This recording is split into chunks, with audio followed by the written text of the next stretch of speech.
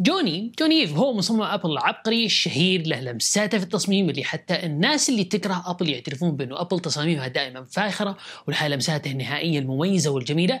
وهو السر جوني نفسه. السؤال من وين جوني يستوحي تصاميمه؟ كيف يجيب تصاميم الأبل؟ هل هي منسوخة من مكان من هنا ولا من هنا؟ هذا اللي بنتكلم عنه بهذه الحلقة. واهلا بكم في حلقة جديدة من سرقة أم استعارة.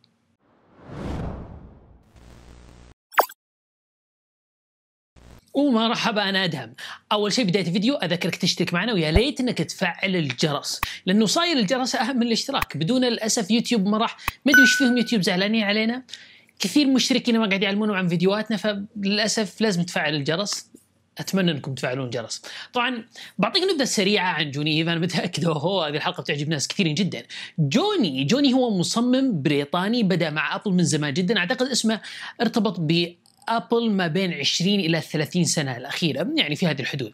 تصاميمه عظيمة جدا لأبل لأنه هو اللي صمم آيبود الأول وأكيد آيبودات الثانية بس هو هو اللي حط الأساس. صمم آيفون الأول MacBook Air الأول وكذلك صمم أول آيباد لهم.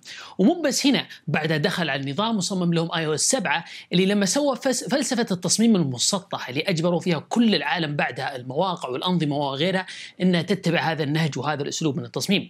كذلك هو الشخص اللي صمم ساعة أبل وكثير من المنتجات اللي تشوفها اليوم الفضل في تصميمها يرجع له. هو وصلت مرحلة علاقته بأبل أنه هو اللي صمم مبنى Apple Park الجديد اللي أبل تتباهى فيه كثير في كل مكان وحتى في مؤتمرهم الأخير. يعني مو بس تباهوا فيه شيء مو طبيعي قاعد يستعرضون فيه. ما حقهم المكان يعتبر جميل. هذا الرجل عشان أعطيه حقه هو يعتبر إنسان عظيم تصميميا. ابل نشرت كتاب كبير لتصاميم كل اجهزتها راح تلاقي بانه نسبة كبيرة جدا من هذه التصاميم اللي موجودة في هذا الكتاب. ترجع فضلها لجوني نفسه. وجوني هو اللي أجبر كثير من الشركات خلال عشرات السنوات الماضية إنها تتبع أو تتبع أسلوبه وفلسفته في التصميم. فبلا شك هو إنسان ناجح. وهذه هي الصورة العامة في السوق. رغم هذا النجاح الكبير كله إلا أنه مثل أي شخص آخر تلاحقه كثير من القصص والأشياء الغريبة اللي نبغى نتكلم عنها اليوم وقررت أن نسلط الضوء عليها لأنه مو كثير يعرفها. أول مشكلة هي تتعلق بشركة براون وهي الأبرز وهي اللي بنركز عليها اليوم مع شركة براون الألمانية الشهيرة جدا. مين ما يعرف شركة براون؟ الكل المفروض إنه يعرفها هذا اللي أعتقد يعني. تعالوا نلقي نظرة على التصاميم المتشابهة بينهم. اولا هذا آيبود 2001 يعتبر أول آيبود نعم جوني اللي صممه.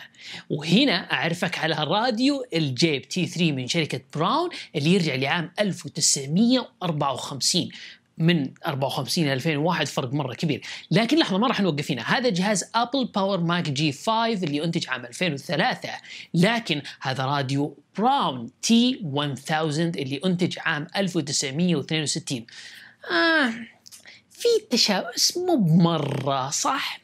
يعني أو ادهم أنت قاعد تحاول تجيب أشياء متشابهه طيب كاميرا Apple iSight 2003 اللي طلعت في عام 2003 إليك Braun infrared emitter اللي أنتج في عام 1947 سوي نفسك حجر. حتى تصميم iMac اللي طلع في 2009 أيضا عليه كلام وجدل كبير جدا بأنه يشبه تصميم Braun speaker اللي طلع في عام 1959 واعتقد إنه موديل LE 1 أظرف شيء في هذا كله إنه الآلة الحاسبة اللي قدمت في آيفون الأول هي أيضا تشبه الآلة الحاسبة اللي موجودة أو الخاصة ببراون واللي يرجع عمرها إلى عام 1977 لاحظ انه حتى الآلة الحاسبة اللي موجودة هي تقريبا نفس التصميم. كعاده في سرقة أم استعارة ما نعطي أحكام نهائية. إحنا نعرض نعرض لك كلا وجهات النظر ونحتاج رأيك أنت. صحيح في هذه التشابهات كلها لكن إيش وجهة نظر الطرف الثاني؟ في تفصيل هنا مهم لازم نضيفه لهذه القصة.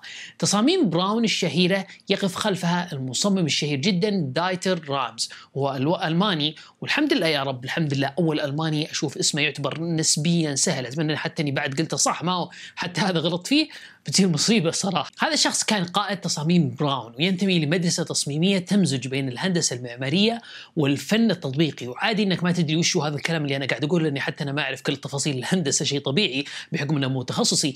لكن كذا بشيء مرة مبسط هذا النوع من الفن والتصميم يركز على شغلتين أساسية. هي جمال التصميم للعين والشيء الثاني وهذه نقطة مرة مهمة هي قابلية الاستخدام. بمعنى إنك لما تصمم أي شيء يصير سهل إنك تستخدمه بشكل بسيط يعتبر. ممكن تقول بأنه هذا الشيء يعتبر منطقي. وكل الناس تسوي. لا حبيبي مو مو منطقي لبعض الناس للأسف. في عشرات التصاميم التقنية اللي تطلع مركزين فيها بس أنه هذه التكنولوجيا الجديدة اللي تطلع لازم تشتغل. ويبدأ يغير من تصميم الجهاز بحيث إنها تتوافق مع التقنية هذه بدون ما يركزون على قابلية الاستخدام بدون ما يعطونها أي اعتبار. وعشان كذا ديتر هذا المصمم يعتبر مميز. وهذا المصمم نفسه وضع عشر مبادئ للتصميم الجيد. وشو هذه المبادئ؟ إنه لازم يكون جميل مبتكر يخلي المنتج مفيد وواضح للمستخدم من أول ما تشوفه تعرف وش فكرة المنتج تقريبا يكون غير مزعج ويكون صادق. كيف كيف تقول لي كيف تصميم صادق؟ بعض التصاميم تفخم المنتج وتعطيه فخامة أكثر من لازم تعطيك صورة غير صادقة عنه تعطيك صورة بأنه هذا المنتج ممكن يسوي شيء معين وهو ما يسويه أو يفخمه أكثر مما هو عليه.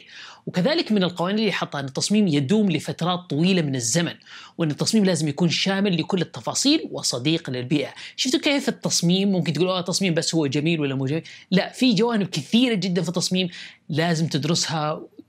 التصميم شيء مرة مهم. طبعا هذه القوانين اللي وضعها لو تيجي تشوفها بمنتجات ابل اليوم فراح تلاقيها بالفعل هي تتماشى مع منتجات ابل منتجات ابل من سنوات من أكثر من عشر سنوات من زمان هي صديقة للبيئة.